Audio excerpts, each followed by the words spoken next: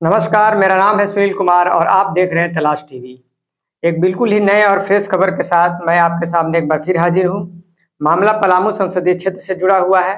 दरअसल पलामू संसदीय क्षेत्र में पिछले कई दिनों से, कई हफ्तों से लगातार इस बात की चर्चा थी कि यहाँ पर सिर्फ़ बी राम, जो भाजपा के प्रत्याशी हैं, और आरजेडी की प्रत्याशी ममता भूया जो है, उनके बीच कड़ा मुकाबला होने वाला है।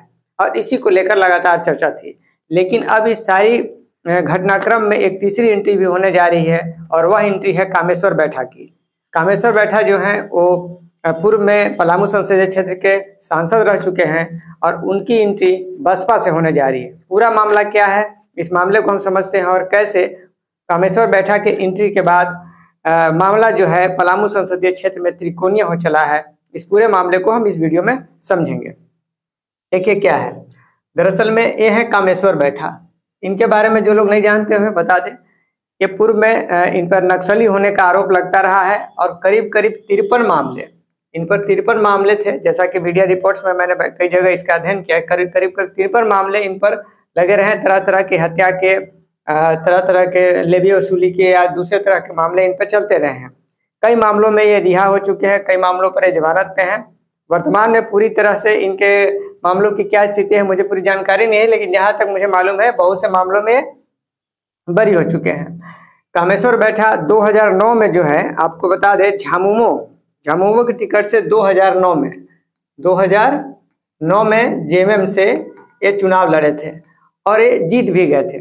मामला सबसे बड़ा बात यह था कि एक नक्सली होने का आरोप लगने के बावजूद ये बम्पर वोट से जीते थे उस समय और पूरे देश में इनकी चर्चा हुई थी। पलामू संसदीय क्षेत्र से कामेश्वर बैठा की जीत की चर्चा 2009 में पूरे देश में हुई थी। और करीब ये ये भी आपको बता दें कि जब ये जब सांसद रहे थे 2009 में तो करीब करीब दो साल सात महीने, दो साल सात महीने करीब ये जेल के अंदर ही रहे थे और वहीं से ये अपना सांसद होने का दायित्व को निभाते रहे थे। उसके बाद ये जमानत पे बाहर रिहा भी हुए और उसके बाद फिर ये लगातार राजनीति में सक्रिय रहे हैं। अब हुआ ये कि ये जो है फिर उसके बाद 2009 के बाद 2014 में 2014 में ये बीजेपी को ज्वाइन कर लिए थे कि बीजेपी से इनको टिकट मिल जाएगा क्योंकि उस समय मोदी की लहर काफ़ी थी। इन्होंने सोचा कि मोदी लहर में फिर से नैया पार हो जाएगा, लेकिन उस समय बीजेपी ने इनको टिकट नहीं दिया तो ये तृणमूल कांग्रेस से चुनाव लड़े। तृणमूल का टिकट इनको मिला था, तृणमूल कांग्रेस से चुनाव लड़े, लेकिन वो जीत नहीं पाए थे। अब इस बार उसके बाद उन्होंने, इन्होंने आरजेडी को ज्वाइन कर लिया था। इसके बाद ये आरजेडी में चले गए थे। अब दरअसल हुआ ये कि इस बार जो है आरजेडी को सीट को लेकर तो पलामू संसदीय क्षेत्र की सीट को लेकर तो लगातार चर्चा का विषय बना रहा। अब आरजेडी के लिए एक ममता भूया और एक आपको आरजेडी के सीट के लिए ममता भूया लगातार अपना दावा कर रही थी और आरजेडी ने इनको टिकट दे भी दिया। तो पलामू संसदीय क्षेत्र जो था, पलामू संसदीय क्षेत्र, यहाँ पर महागठबंधन के अंदर आपको ममता भूया थी, फिर उसके बाद कामेश्वर बैठा भी आरजेडी में थे। तो अब जब चूँकि आरजेडी पलामू संसद क्षेत्र से ममता भूया को आरजेडी का टिकट मिल गया तो आरजेडी में रहते हुए तो इनको टिकट मिलने से रहा। लेकिन कामेश्वर बैठा, हर बार चुनाव लड़ते रहे हैं और इस बार भी उनकी मंशा थी कि हम चुनाव लड़ ही लड़े। अब इनके पास कोई ऑप्शन नहीं था, क्योंकि बीजेपी को भी पहले से छोड़ चुके थे और बीजेपी में जो है बी राम लगातार दो बार पहले विजय रह चुके हैं और उसके बाद इस बार भी बीजेपी ने इनको टिकट दे दिया है। और ज़्यादातर दावा भी किया जा रहा है कि जो जो बी डी राम है, उनकी जीत की संभावना सबसे अधिक है। इस तरह के दावे लगातार हो रहे हैं कि लोगों को विश्वास है। अब बीजेपी से तो कामेश्वर बैठा को टिकट मिलने से रहा है बीजेपी भी ज्वाइन नहीं कर सकते थे।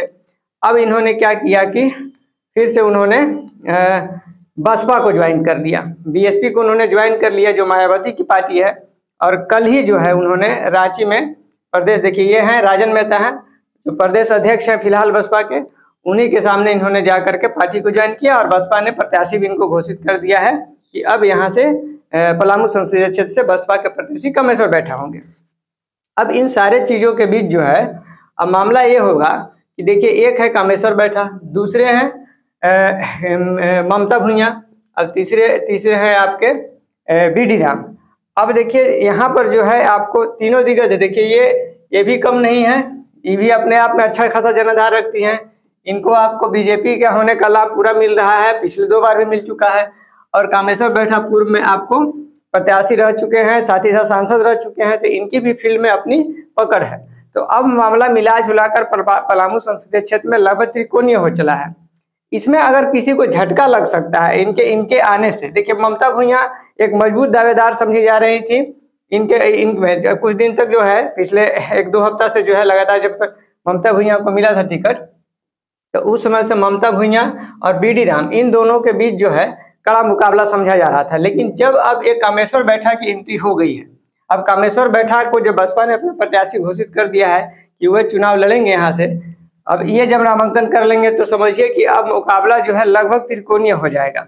अब इसमें जो सबसे बड़ा झटका लगेगा वो आरजेडी को ही लगने वाला है, क्योंकि ज़्यादातर आपको देखिए बीडी राम का जो है उनको मोदी का लाभ मिलने वाला बात लोग लगातार कह रहे हैं कि उनको मोदी का लाभ मिलेगा। हालाँकि बीडी राम का भी लगातार विरोध होते रहा है विभिन्न क्षेत्रों में। उनके ही अपने कार्यकर्ता विरोध करते रहे हैं। तो बीडी राम को जनरली लोग कह रहे हैं कि बीडी राम राम को अपने चेहरे पर वोट मिले ना मिले, मोदी के नाम पे उनको वोट मिल जाएगा। ऐसा लोग लगातार कर रहे हैं। अब मिला जुला करके ये है कि मामला जो है पलामू संसदीय क्षेत्र में त्रिकोणीय हो चला है।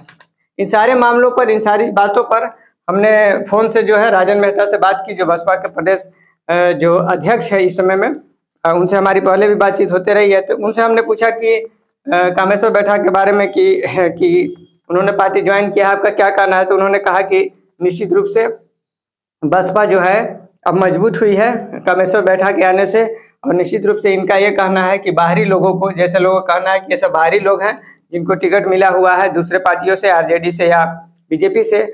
अब क्षेत्र की जनता जो है, क्षेत्र के बेटा को चुनना चाहती है। ये राजन मेहता का कहना है। क्षेत्र के बेटा को यानी कहने का अर्थ है कि कामेश्वर बैठा को चुनना चाहती है। साथ ही साथ उन्होंने कहा कि पार्टी जो बसपा जो है, अब उसका जनाधार जो है, काफ़ी मज़बूत हो जाएगा कामेश्वर बैठा के आने से। तो आप देखिए कि पलामू संसदीय क्षेत्र में जो है, पहले जो मुकाबला समझा जा रहा था, उससे अलग अब त्रिकोणीय मामला के आसार बन गए हैं। एक बात और बता दें कि पहले जो है, एक घूरन राम जो है, वो भी बीजेपी को ज्वाइन कर लिए। वो भी पहले क्या थे? आरजेडी में ही थे। आरजेडी से वो भी बीजेपी में ही चले गए। घूरन राम ने अभी तक अपना कोई स्टैंड पॉइंट नहीं लिया है, लेकिन आपको ये बता दें कि घूरन राम भी चुनाव लड़ने के लिए लगातार प्रयास करते रहे हैं। अभी तक अब चूँकि नामांकन होना है, अभी तक तो घूरन राम की तरफ़ से किसी कोई इस तरह का बात सामने देखने को नहीं मिला है कि वो कोई सुख सुखबुहाट कर रहे हो, कि वो किसी पार्टी को ज्वाइन कर ले या चुनाव लड़े। चूँकि जब से बीजेपी में गए हैं तो लगातार बीजेपी की बैठकों में उनको देखा जा रहा है तो उनसे उनके बारे में कुछ विशेष नहीं कहा जा सकता। है तो अगर यह न्यूज़ या इन्फॉर्मेशन आपको अच्छा लगा होगा तो आप हमारी इस वीडियो को लाइक कीजिए और इसको ज़्यादा से ज़्यादा शेयर कीजिए। और अगर हमारे चैनल पर बिल्कुल नए हैं तो हमारे चैनल को सब्सक्राइब भी करें। बहुत बहुत धन्यवाद।